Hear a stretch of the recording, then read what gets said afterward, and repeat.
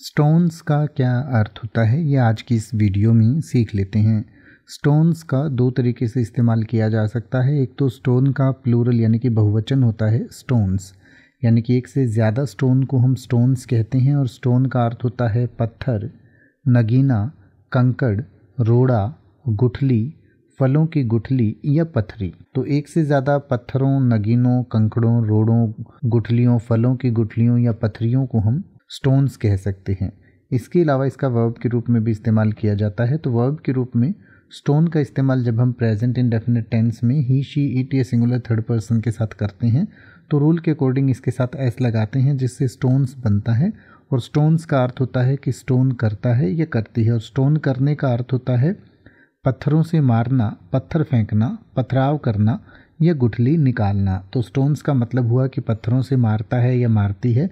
पत्थर फेंकता है या फेंकती है, पथराव करता है या करती है, या गुठली निकालता है या निकालती है, या निकाल देता है या निकाल देती है।